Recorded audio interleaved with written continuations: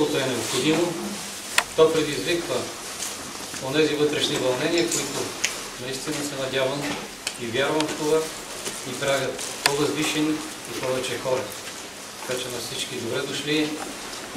Добър ден и в аванс, тъй като в рамките на емоциите и на изказванията можем да пропуснем. Не случайно представянето на Алманаха е в вечерията на 1 ноември, Деня на народните водители. Искам предварително на всеки един от вас, за да не пропуснем тази възможност, да честитя този ден, в който всички ние трябва да се включим по убеждение и като съдба в създаването на повече човечност. Онази човечност, която ни обогатява, за да може след нас да има България. И след като видях, че малко залата овладя страстите си, искам да дам думата най-напред на издателя на Алманах Госта, който за поредна година вижда бял свят. Това е господин Златко Живков, така че кмет на град Монтана, познавате го, няма защо да говоря много, така че той има думата да каже няколко думи за изданието и за идеите, които е подкрепил. Благодаря, господин Калев. А, искам всички ви да поздравя с утрешния празник, Деня на народните водители. А, чест и привилегия, че в тези дни на подобно събитие има толкова много хора тук. А, аз мятам, че а, това е благодарение на заслужения авторитет, който има а, Алманаха в последните си издания. Да не бъде много претенциозно а, и да така а, правиме кой знае какви анализи в тази част, но е радваш факта, че а, получихме поздрави а, от близо и далеч, а, от България от чужбина а, и не може да бъде подминат по никакъв начин труда и усилията на редакционната колегия, на Мартен Калеев, особено в тази ситуация, така че а, това са едни много добри знаци и предполагам, че за това поредното издание на Оманаха предизвиква такъв интерес, основателен интерес. Всъщност, а, спокоен съм вече, ако трябва така да кажа, имах едни притеснения при първите издания. Дали отново няма да влезем в типичното русло и за добро и за лошо сме си българи. Защо го правиме, заради кого го правиме? Има ли смисъл да го правиме? Дали а, това ще може да а, на едни да укроти амбициите, на други а, заслужено уважение и доверие към това, което правят. А, и то не го правят от години, а от още по-дълъг период от време. А, аз смятам, че в крайна сметка поне този критичен анализ на, на, на последните години вече е преодолян и смятам, че а, това не е за пренебрегване. Този факт на а, това творение не е за пренебрегване. Има възможност в последните няколко дни при един изключително сериозен календар, какъвто има културен календар общината като цяло, да присъствам на различни събития, които дори ги приемам като част от това, което се случва и от това, което сигурно ще бъде събрано в тази книга. С нощи беше един чудесен концерт с френския посланник Леведео. Бях изненадан от организацията на срещата и от страхотното много цитати на литературни произведения, на поезия, нещо, което беше доста така интересно направено. Миналата седмица, преди да тръгна, това казах на Димо Троянов, присъствах в регионалната библиотека на двете представяния на поетичните творби на Матей Шопкин и на Димо Троянов. Така че също бях провокиран от хора, които са хора на а, писмовни хора, хора, които пишат, А, смятам, че това също не беха събития, които така трябва с лека ръка да бъдат а, а, отхвърлени и показаха колко а, е богата палитрата на, на, на този жанр и на всичко това, което, което се прави в тази част. Най-вероятно не всичко може да влезе в рамките на една книга. Представям си какви затруднения трябва да имат авторите, когато трябва да, да изберат, да подберат по някакъв начин това нещо да го да бъде събрано така, че да отговаря на целите на Оманаха от една страна и от друга страна да не остане а, едно огорчение в някой, че незаслужено е бил подминат, а пак той винаги има какво, как да каже, а, особено към тези хора, които, които пишат, аз казах и на последната среща, на която бях на а, лириката на, на Димо Троянов, че а, винаги в тази част пред очите ми е онзи надпис на Константин Костелечки, един изключителен книжовник от а, 15 век, който стои на Централната библиотека в Велико Търново, че всяка земна слава е като тревата, и съква, и цвета и отпада, само Словото остава и препътва в род и род. И това Слово, писаното Слово. И едната част сме като траките, които много помнят, но не пишат. А между вас и тук, в тази зала, има много хора, които предпочитат да пишат и които могат да пишат и да го направят. И това, което пишат, се оценява от хората в страната. Не бих казал даже само от хората в региона или в нашия град. Така че използвам случая да поздравя всички вас с поредното издание Огоста 2018 на Оманаха, който се наложи, смятам, и той се наложи не защото го искаме няколко човека, а той се наложи, защото хората така го оценяват и не случайно, отново казвам, коментарите и това, което получаваме като отзвук от поредното издание, така бележи ръст, печели нови приятели, има заслужено място. Дано да има повече хора, които да намерят време да го отворят и това нещо да го, това нещо да го четат. Съвсем случайно видях, че в залата и господин Гънчев е тук май. да, виждам. А, това е използвам случая на, на днешната среща тук с Салманаха. Това е скулптура на нашата Диана, която е символ на Монтана, която в време на на морална и не знам каква друга криза, да кажа, особено през 90-те години, поизхвърли доста паметници в небитието.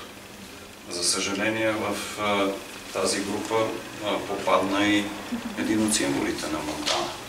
И аз се радвам, че с кампанията, която започна от Общинския съвет, мина и през нас, ще се опитаме да възстановим статуята на Диана, така както е била когато той е правил. Между другото, Леяра Симо Алексов, който изпълнява в момента статуята и същия, който заедно с Чепканов е направил великолепния паметник на Радичков. Заедно с Чепканов са хората, които са на граф Игнатия в София. Малко трудно може да видите граф Игнатия в момента, но на книжния пазар на Славеков, на Славейкови това са хората, които а, са направили също нещо много красиво и хубаво. И аз се радвам, че след а, така, тази подписка, която беше подкрепена, помолих част от почетните граждани на Монтана, които знам, че имат възможност, некоректно е да моля всички, да участват в тази кампания, така че да възстановим тази статуя по подобие на това, което направихме с паметника на Левски вече в далечната 2003 година. С паметника Радичков, с приятелите на Радичков. Така че това ми е третото голямо предизвикателство за възстановяването на един символ, който е важен и който хората приемат. Ще се опитаме да го възстановим с а, така както, бяха, така както бяха направени и другите, които, за съжаление, Мишо Шаткарев вече не е между живите. Човека, който направи паметника на Васил Левски в Буенос Айрес и нашия в Монтана, който открихме 2003 Голяма част от комитета Радичков, едни легендарни личности на българската култура, за съжаление вече не са между живите. Вера Мотавчиева, Крикора Зарян, Светлин Русев, Рангел Вълчанов. Имах честа да познавам тези хора. И не само да ги познавам. Като Чеви Чепкънов и още няколко човека останаха само в тази плеяда. Така че а, е добре да бъдат използвани различни такива неща, а, които смятам, че така добавят или разнообразяват или обогатяват културния живот на, на Монтана. А, благодаря на Матен за, и на целия екип относно изданието. Смятам, че защитихте това, което го има вътре. Страхотни автори, и млади, и утвърдени. И се радвам, че тези хора също така са приели да участват в това издание. Някои от вас за поредна година го правят. Смятам, че това заслужава адмирации и силно се надявам това дело да продължи напред. Благодаря още веднъж на всички.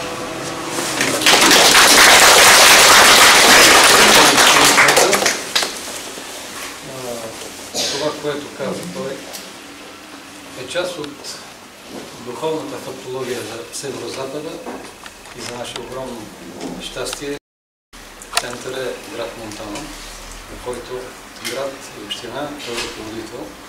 Разбира се, тук ми е много приятно да виждам и хора като господин Иво Иванов, който е председател на Общинския съвет Монтана, защото не е тайна. Общинския съвет създава политики, създава отношения и с тези неща насърчават хората да се виждат по определени поводи, по възможност по хубави поводи, така че аз давам думата и на господин Иво Иванов за няколко думи, тъй като той е в течение с историята на Алманаха, макар и не много дълга, но все пак.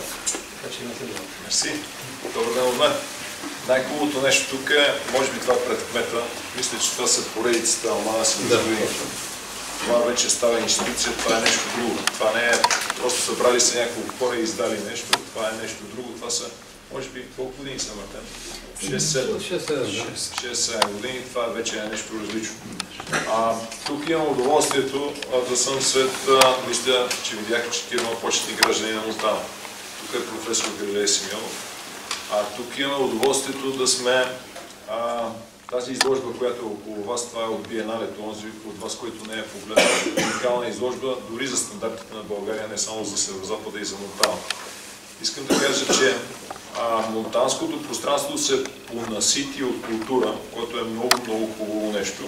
И тук днес е много интелигентната част на Монтана. Има какво да се види, има какво да се, да се чуе. А, разбира се, в навечерието поздравявам издателите, а, Кмета Живо и Мартин Калеев. Независимо кой каква роля има, това тук пред нас и днес събрание е, е заради тях. Изцяло надявам се дълги години това да продължи, да го добавим 10-15, а, да дава изява. Най-ценното през годината, като имах няколко човека, които са излезли от Монтана, включително и в чужбина, и те, като им подаря ценният подарък на Общински съвет Монтана е Алманах. И като им подаря един алманах, те ме питат за, за минали за минали издания. Оказва се, че няма минали издания. Тоест всичко, всичко е свършило, всичко е изчезнало, това, това означава, че това е ценен, ценна книга, ценен подарък. Поздравявам ви с утрешния ден, да сте живи и здрави и да се събраваме тук и по-често на много други места. Успех, живот и здраве на всички!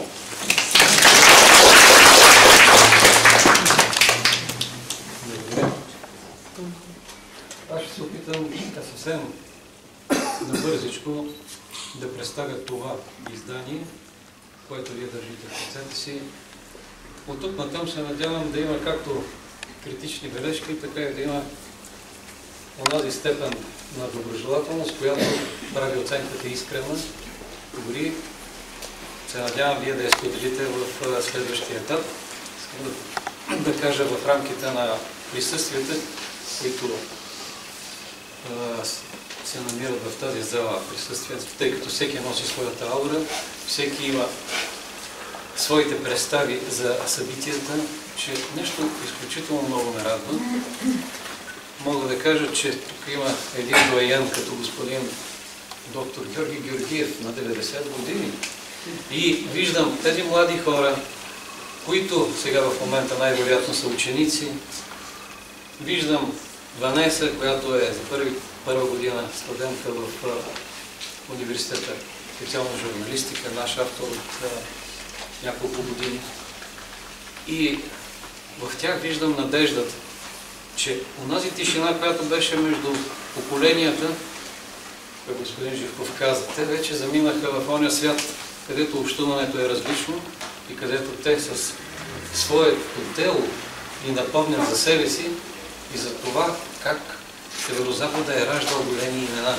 Раждал е такива имена, че някои от тях, като Радичков, а и не само Радичков на този небосклон, са били достойни за най-големите награди на България, че и за Нобел.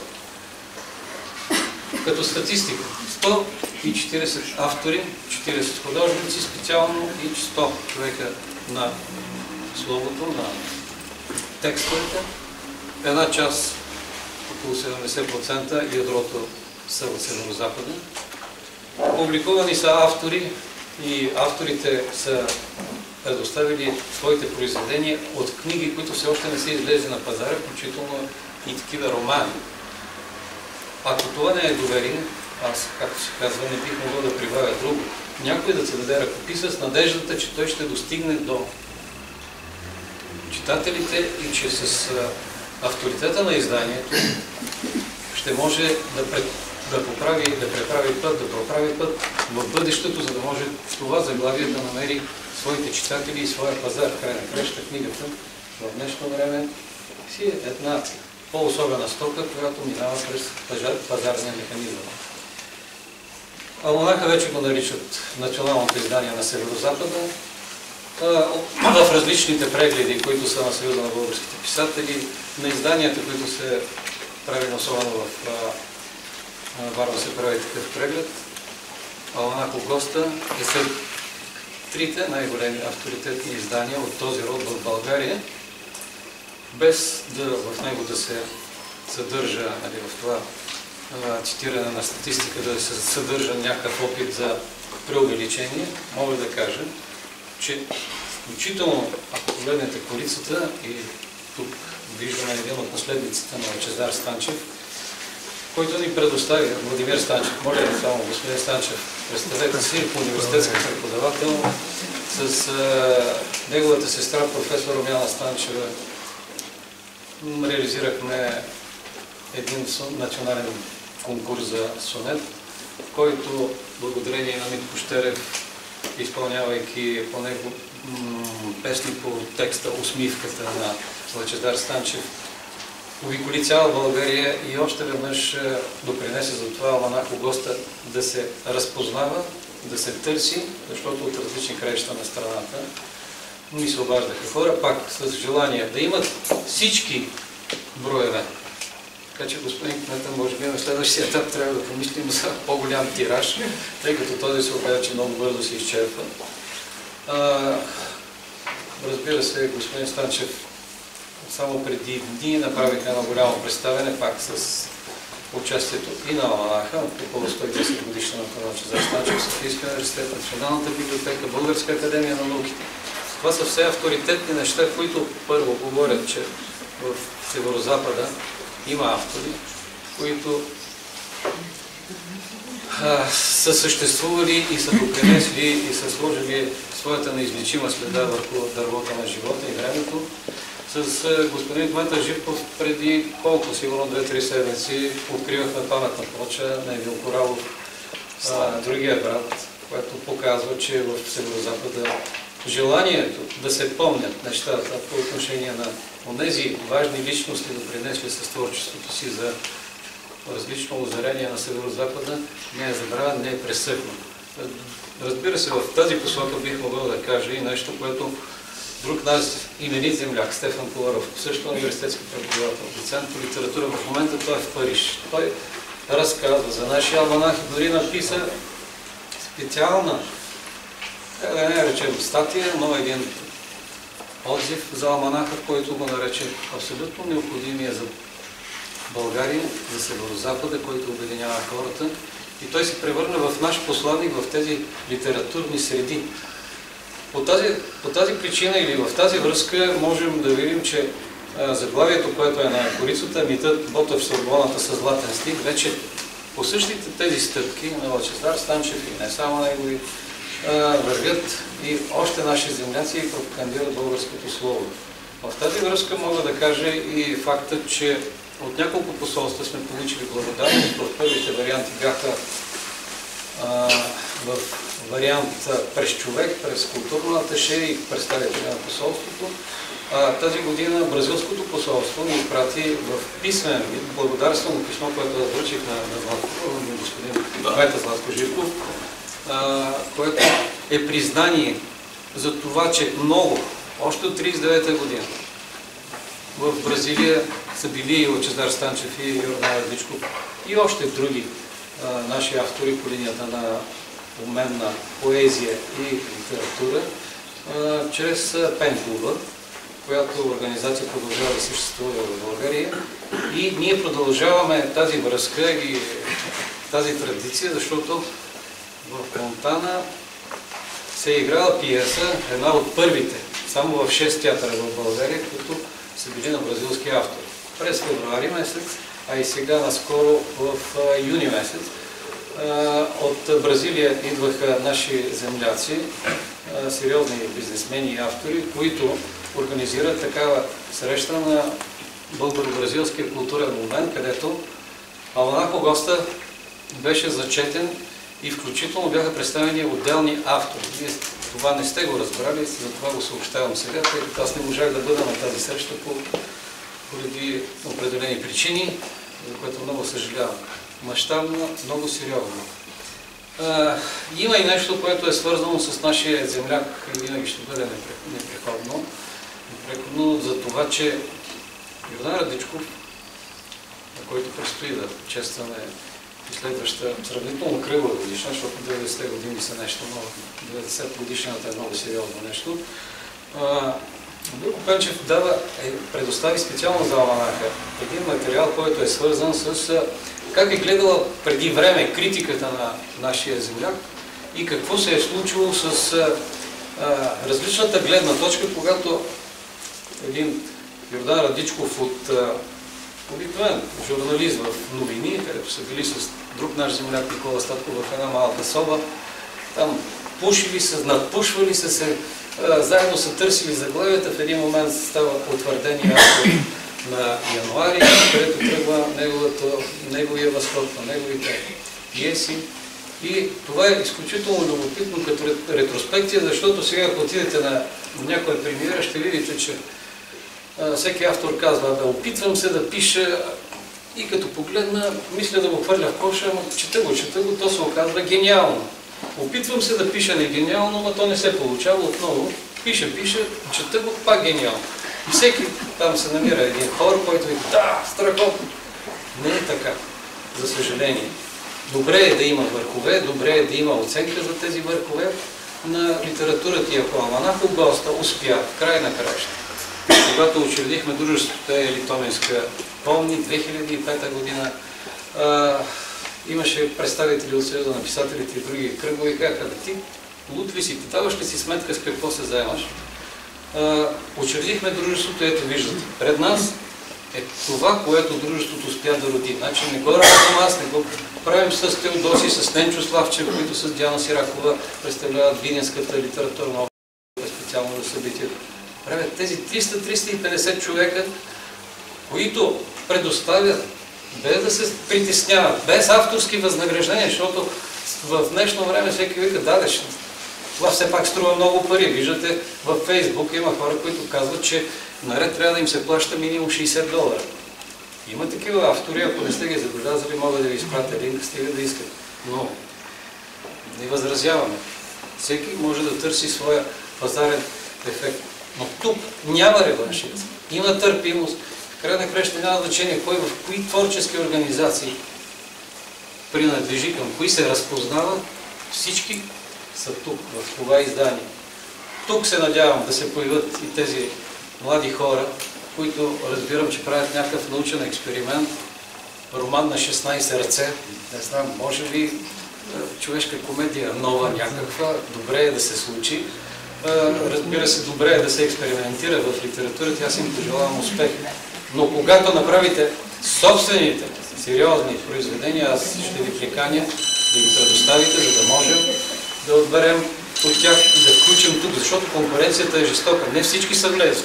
Има такива хора, които казват откъде на къде точно а, моето произведение не можа да се включи. Има причини. Няма оценъчен радикализъм, но все пак трябва да има усещане към, към словото. Целта на нашия алманах е в край на краища да можем да поднесем поредното словесно донорство срещу обезличаването. Защото преди години един поет Хелдърлин ме пита, му е нужен поет. Сега, сигурно много хора са ети с делови дейности, дейности прозаични, сигурно си казват, абе, пука ми сега някакви поети там надписват се, надлъгват се, надскачат се, непрекъснато мерят. Не е така. А, в край на краища поета в усещането за а, неговата възвишеност, за желанието да се да доближи до нещо по-различно, тъй като битието само не не, до, не стига просто. Да, душата може винаги да жадува и още нещо. Да, този поет е нужен да всички нас, защото иначе ще затънем в тези новини, които сигурно твърде често се изключвате и телевизорите или ги прескачате. Новини, реклами, новини, реклами и поета го няма. Казвал съм и ще го повторя. Поетите са като канарчетата в забоя на, на живота. Почнат ли да изчезват, страшното е близо. И фатално. Сигурно ще се случи. Има нещо, което искам да кажа за една наша авторка, която живее в Кърджелис. Тя е и журналист, и поет, това е Снежана Горанова.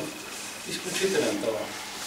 Много интересен материал, вие можете да го видите. Марион Колева, която дълго време пише за различни неща по света и ги пише много талантливо за първи път в този алманах имаме 7 автори, а от други 13 ги издирихме по света, защото има наши земляци, които живеят по света, включително и в Австралия.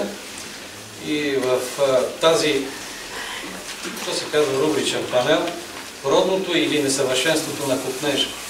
Те непрекъснато се припознават като наши земляци и хора, които се родеят с българското. Даже казва, че този копнеж е много по-силен, много по, както се казва, обаятелен, магически и непрекъснато припомня кой откъде е тръгнал. Всичките, ще видите техните биографии, нарочно сме ги оставили с по няколко реда. Те имат своята академична кариера. Те са в основата на литературния живот в чужбина няма да цитирам различни градове, защото е както е Нью Мексико и Чикаго, така е Торонто, като статистика. 61 библиотеки в 8 държави, извън Онтана. Като двама наши автори успяхме да предложим техните произведения и те бяха приети с гаранцията на Ланако Коста.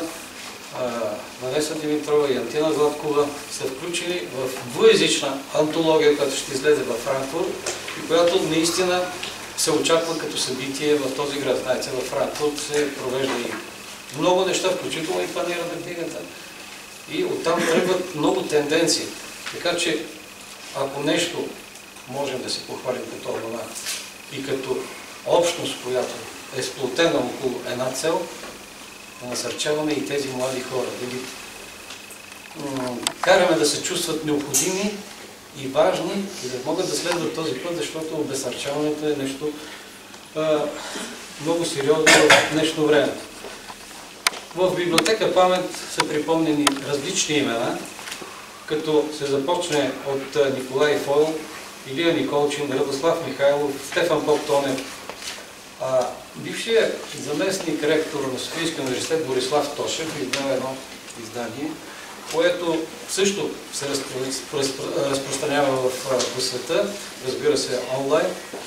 И днес, преди да дойда на, на премиерата на Алманака, Валентин Качев ми изпрати съобщение, че Общинския съвет в Белоградчик заедно с нашата подкрепа, тъй като публикувахме издание посветено на Списаревски, този защитник на София, който е загинал и отдал живота си за родината и защитавайки София, ще му бъде открит паметник в Белоградчик. Също така той говори и за хора, които са от научния елит на света, които са в НАСА. И ще го видите това в издание. Мога да говоря още много дълго, както каза господин Живков преди време. Поне 45 минути ще мога да, да говоря, а, няма да ми стигнете между час. Но идеята е, идеята е да провокирам вашето а, вашето желание да кажете своята дума и бих започнал с господин доктора Георги Георгиев, защото когато ни предложи своите произведения, той вика, ей, 90 години, я там го включи в алманаха, що знае ли се. Е, сега, живи сме, здрави сме, господин Георгиев, като поет и като човек с житейска мъдрост. Няколко думи към тази аудитория и за алманаха. Така че имаш думата. Браво.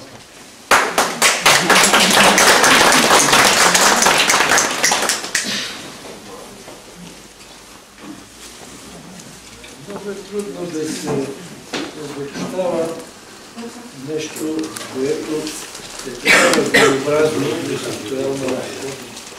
Защото авторите са много, всеки има свой стил, свой поглед върху живота и така нататък. Но аз искам да споделя нещо свързано с моята собствена особа в такъв смисъл. Аз направих 90 години, сам не мога да повярвам още такова нещо. Но Господ знае, работа аз нямам вина. Но в тия 90 години аз съм видял какво ли не и съм лекар с три специалности, кандидат на науките и така нататък. Какво ли не съм видял? И хубаво, и лошо, и грошно, и всеки. И фактически в моите разкази и други там поетични ушти, поетични, аз не ги смятам за война. Е отразен живота такъв, какъвто е. И хората които са мои пациенти, мои познати, мои приятели и прочие. Те са прототипите на моите разкази и в тях е споделено това, което аз съм видял. Защото при доктора се казва всичко. На майка и на тати може да ми кажеш, но на доктора си дължен всичко да кажеш. И фактически това е неизчерпаем избор на, на теми и на възможности да се отрази. Разбира се, всеки го отразява по свой начин и аз не смятам, че съм стигнал тавана, но на времето, когато бех още в началото училище, понеже учителката, която ни преподаваше, се ожени в Чиповци и ми замина посред година. И ние плакахме всичките ученици, аз отидах вкъщи и казвам на майка си, децата могат ли да пишат стихотворение? Тя ме погледна така, вика, защо? Защото, викам, аз искам да ти кажа нещо да го запишеш като стихотворение. То беше трън-дрън, нали? Отиде, отиде си учителката драга, там далеч, ала бала и така нататък. Никакво стихотворение не е, просто е а, някакво детско чувство, написано със сълзите. И оттам тръгна работата. Браво.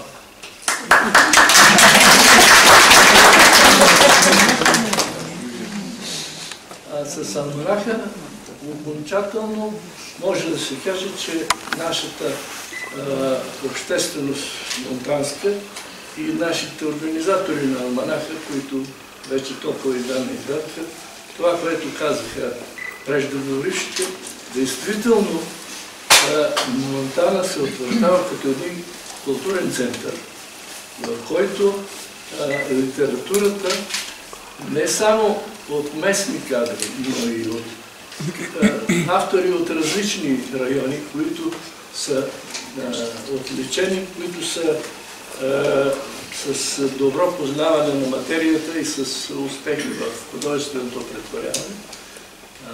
Това прави чест на нашия град и радвам се, че тук виждам 80 души, а може би малко горе. Благодаря за вниманието. Благодаря на доктор Георгиев. Ще припомня една максима, че докторите лекуват с капче, скалпел и дума. Всъщност, ако доктор Георгиев е бил един добър доктор, това е защото той е започнал с думата и ако нещо се случва чрез Алманах Огоста е, че наистина можем да използваме най-голямата, най-мощната сила, това е думата, особено добрата дума.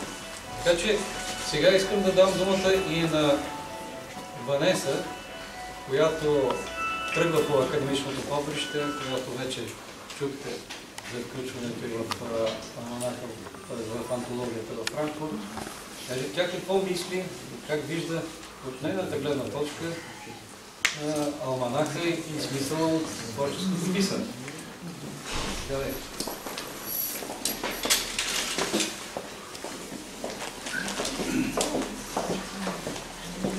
Здравейте, скъпи гости! Аз се казвам Ванеса Димитрова и когато моят творба за първи път беше публикувана в Алманаха, бях едва 8 клас, а сега вече съм студентка по журналистика в Софийския университет. Години наред Алманах Госта поддържаше в мен творческия огън и предполагам, че и във всички нас. Всяка година това ме подтикваше да, открив, да не се страхувам и да откривам нови жанрове и нови проблематики. Творческия огън продължава да ми помага и до днес в студентската ми работа. Горда съм, че съм а, част от този творчески коле- колектив. Искам да поздравя всички автори, а, които са публикувани в изданието, както и издателския екип, защото е похвално да се пише, но да се оцени и да се полагат усилия да се публикува е будителска дейност. И не случайно, а, смятам, че традицията повелява да се събираме на деня преди 1 ноември, защото ако има по-добър начин да се чества Деня на народните будители, то на мен не ми е известен.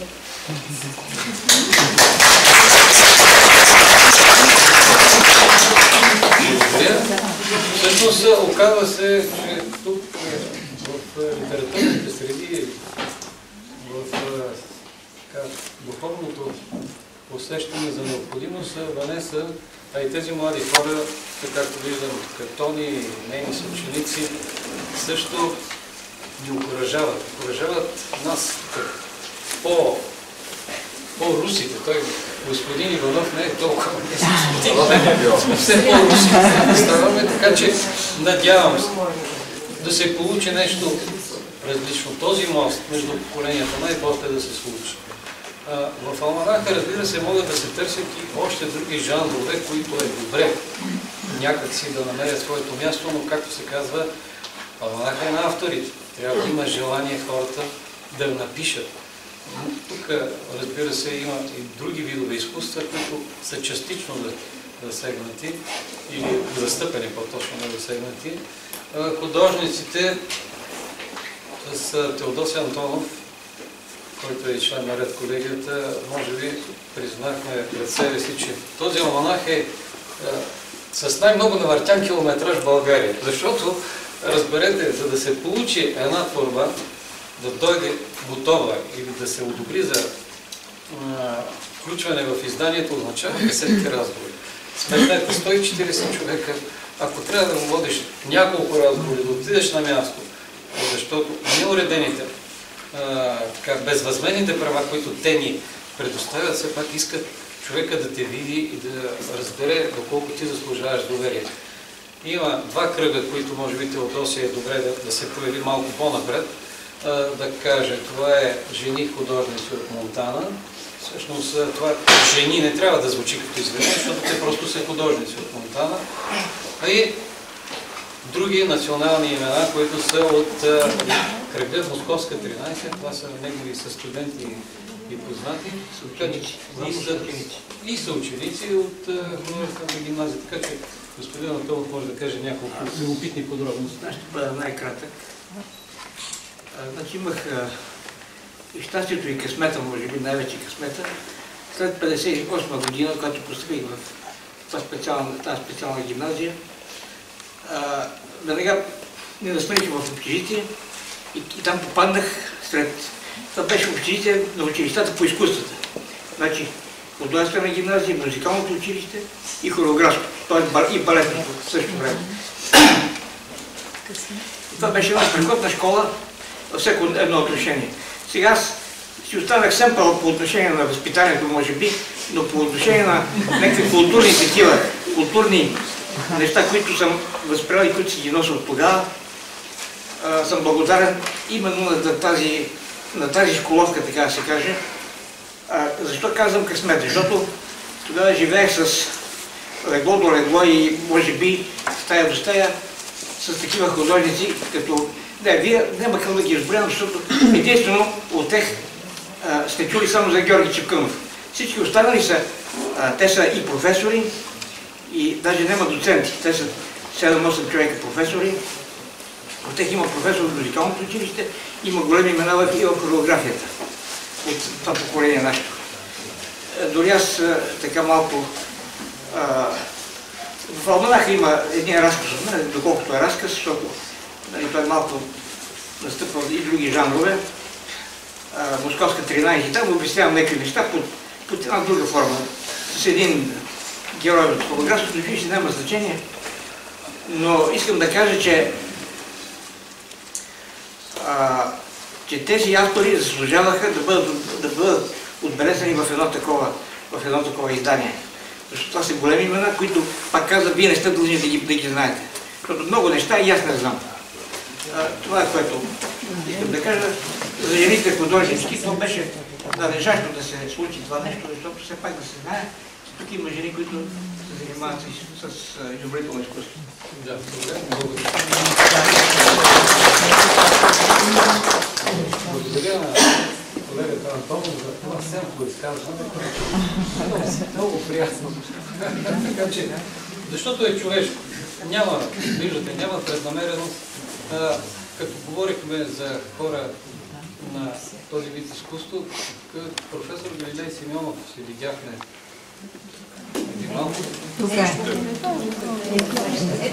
той винаги така прави. Аз съм го забелязал. Когато трябва а, някъде да го открие, и това през цялото време, нали, по някакъв начин.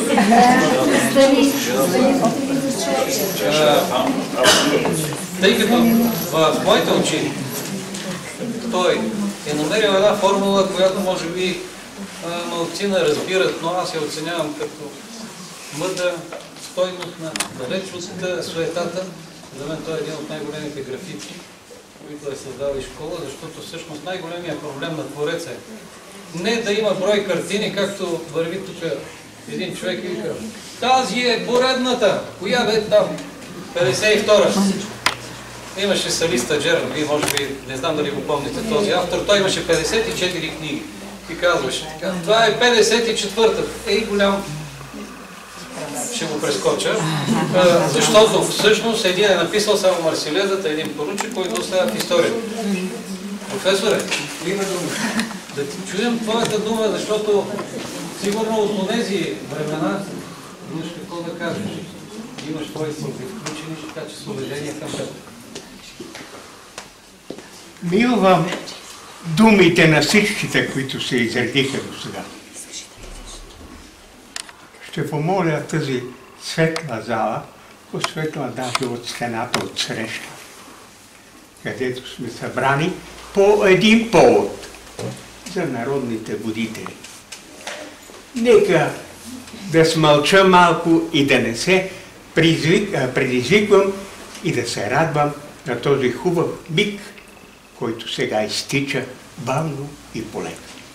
Позволете ми този а, аристократизъм на духа ми, да го малко помилвам него и след време ще излеза, когато бъда, бъда повикан от народни думи. Защото ние ги позагубихме тях и за това не бързам с думите. Благодаря ви много за внимание.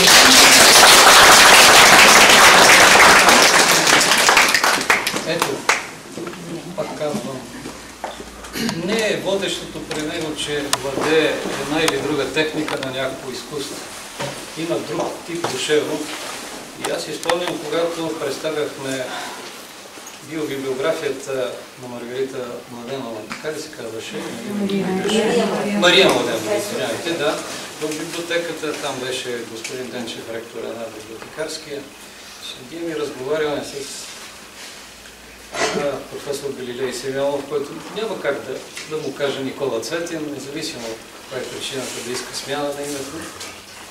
И говорим, че има хора, като Радичков, а той е негов съученик. Аз се познавах с Радичков, с Качо Бояжиев, с Вера Мотавчива. Бях член на един клуб на интелектуалци, клуб 100, където в парк хотел Москва се срещахме, за да разговаряме по, по различни поводи, с надеждата нещо да промени. И той каза нещо, което аз няма как да забравя. И ще го помня винаги. Има хора, които са в други континенти. Те създават един свят, който е умопомрачителен със своите мащаби, със своите дълбочини и със своите предизвикателства да ги разгадаеш. Ако аз съм доволен от нещо за Алманах Гост, Алманах Госта има такива автори. Така че, мисля, че нашата среща те първа започва, след като вземете изданието, след като прочетете, след като вникнете в едно или друго, като творба, ще видите, че буквите не са толкова важни. Има друга светлина, която е зад буквите, която е между редовете, която е посланието към езика на сърцето, което е много по-силно, по-всеобемащо, по-важно и животоспасяващо, отколкото обикновените формулировки. Ако друг някой, сега не знам нашия гост дали има готовност да каже няколко думи, бихте ли желали? Да. Господин Ганчев, да. И той е на 90 години. Чудесно! Дай Боже, повече в Северо-Запада. Какво мога да кажа аз? В гимназията имаше един учител, който ни казваше без словесен талаш. Не се спазва обаче. Никак не се спазва. Едва от когато започнах да се запознавам с история на изкуството, се откри, че всъщност това, което египетяните са казвали с 10 думи, гърците са оказвали с 100, а римляните с 1000.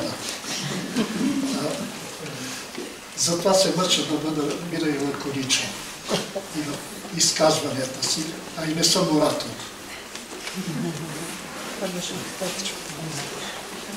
Благодаря. Да, това е... Вече беше. Аз благодаря за тази лаконичност. Както се каза, лаконичността казва повече от много думи на хора, които не влагат смисъл в цялата тази тирада от Каканижене. Господин Иванов ви каза, че ни подсказва един нов тер- термин, че в нашия живот твърде често са се настанили така спам съобщения.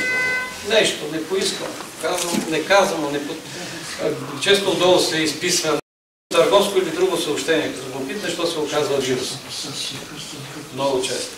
За съжаление, ето това усещане за враждебност е много опасна в днешното ежедневие и всеки се атомизира. Затваря се сам себе си. Може по-малко да общува, за да не се разочарова от този или онзи. Но аз искам да кажа оная притча за ония древни монаси от един манастир, който непрекъснато се карали и отишли при най-мъдрия от друг манастир, друг такъв а, монах и го попитали, сега какво да направим? Виж, ще се избием тук, не, не може, не, не може да се търпи. По-мъдри от тях казва, вижте, сред един от вас, един от вас е свят човек. Да знаете, той е посочен и ще направи нещо. Много важно, той ще даде оценки. Тръгнали си монасите, върнали се в манастира и какво станало? Всъщност. Пораснало уважението един към друг, защото те не знаели кой е, но предполагали, че всеки може да е. По този начин и при нас, в Алманахо гост, автори, всеки автор със стойност на своето творчество може да го предложи за публикуване. Разбира се, страниците са толкова. В момента са 412. Тук господин Петър може да ми държи по ушите в един момент, защото искахме да бъде до 400, но стана малко повече. Сега малко повече, защото а, знаете и тая притча, за където все непрекъснато му казвали на един шоп, бе, ти какво искаш? Искам земя. Колко земя? Е, много земя. Добре, айде, тичай от, като изгрее слън- слънцето, тичай на запад, докато а, залезе тая земя, до която се докоснеш, ще бъде твоя. Хукнал нашия човек, тича, ще се прибие и накрая а, слънцето на заник. Гледал, гледал този канал, капата я фърлил. Да може да е докоснал по-натам, малко по-натам. И после Всевишния, ти що го правиш? Абе да има, за Бог.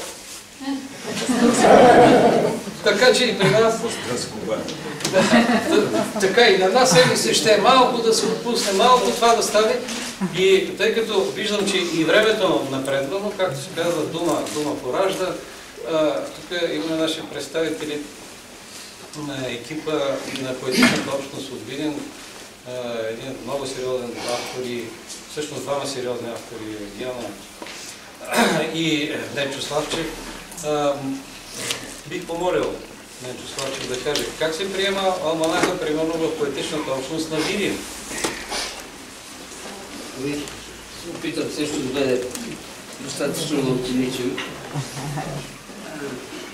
Радвам се на този ден, радвам се на тази великолепна публика и тези е,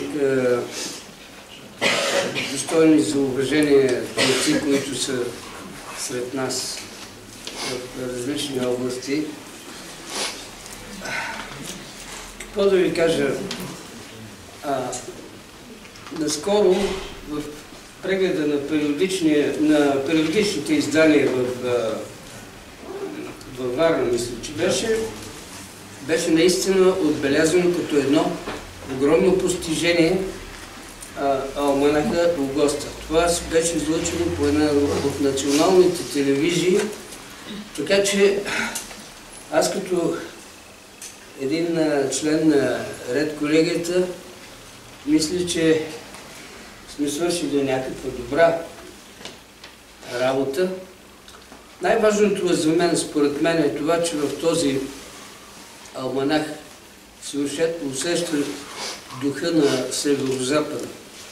А словото, което е тук при нас, е изключително метафорично. Значи, най-обикновените хора по е, ползват непрекъснато метафората като начин на изказ. Пример, е, малък ще ви дам. А, Торлачи отиват с братвите от гората за дърва. Питат ги, къде отивате? Казват, да изправляме дърва. Защото те са криви дървета, като се наскът, те стават прави. Няма да отидат да се кът. Просто. А, мисля, че в нашия алманах, мога да го нарека така, а, алманаха на Северо-Запада, дори усеща се тази метафоричност, усеща се рома на, на Огоста, светлината на Дунава. Мисля, че достойно е това нещо да продължи. Знам, че от а, нашия край са излезали великолепни национално и, и световно известни писатели. Само ако погледнете тефтерчето на Съюза на българските писатели, там ще видите, че поне една трета от техните членове, от, от членовете на Съюза са родени именно в нашия край. Не искам да спомена само Радичко. На времето на неговото 50 годишно не бях тук а, и беше един великолепен, чудесен празник. Искам накрая да благодаря на господин Живков за това, което подкрепя и е голяма чест за, не само за него, но и за нас. Благодаря. Да, благодаря. Благодаря и на Диана Стояко, и на Нен Преславчев, поделиха време, дойдоха и се надявам, че в следващите пътувания по линията на трансграничното сътрудничество в Сърбия и в консерваторията, поетична консерватория в Бълбачик, Алманака ще бъде е- едно от заглавията, за които ще коментираме. За това ще спечелят всички. Другото, което искам да кажа, че Алманака ще бъде, тук сигурно Димо Траянов, къде е Димо? Сега ще занесе а, едно солидно количество от бройките на наши автори, които на 105 годишнината на Съюза, от основаването на Съюза на българските писатели в, в Народния театър или в НДК. НДК. В, в НДК ще бъде. В НДК ще бъде представено и е, хората ще могат да изкажат своите оценки. Сега, сигурен съм, че всеки един от вас би искал да, да каже, да добави, ако има такива, които много, много имат ентусиазъм и биха желали непременно да го кажат, тъй като срещата по нормални логически причини върви към своя край, има ли някой, който държи? Да, Юрия Станчев, това е синът на Лъчезар Станчев, който споменах.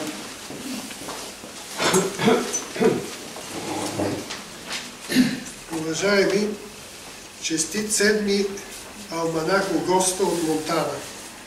Щастлив съм да бъда забелязан като тълковател на една реална легенда от главния редактор Мартен Калеев. Митът за стихове на Ботев, написани с златни букви в Сорбоната, отдавна издига българското самочувствие. Дори личности, търсещи обществено признание, като Слави Трифонов и професор Вучко, често го припомнят.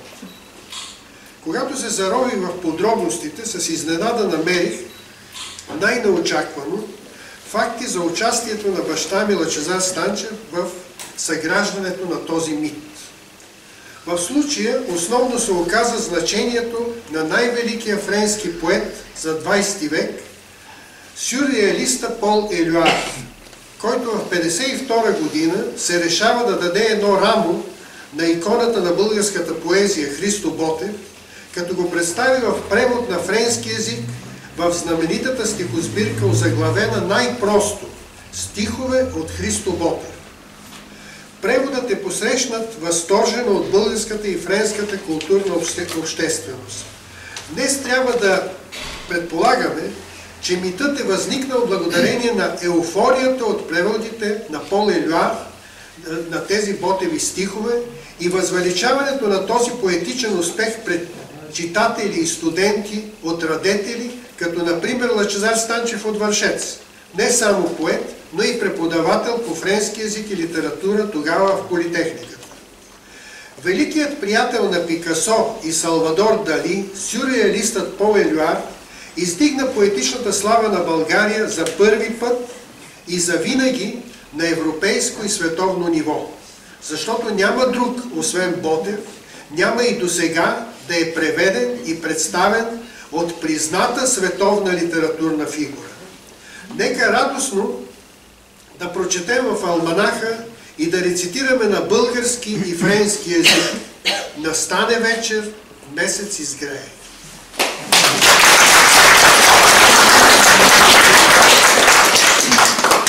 Благодаря, господин Владимир Станчев. Мисля, че можем да с тези думи да към един достоен финал, защото в изданието е е отделено специално място на 170 годишно на рождението на Христо Ботев. Има стихове, които заслужават да бъдат прочетени. Има наистина вътре неща, които са изследователски и се публикуват за път, първи път са изключително любопитни. Още веднъж, благодаря на всички вас, че отделихте от времето. Отделихте от времето, за да споделим тези кратки минути, които са доказателство, че в Монтана има жажда за изкуство, има жажда за духовност и в край на краищата поколенията ще продължат своя път към бъдещето. Ще има Монтана, ще има България. Благодаря и частит праздник.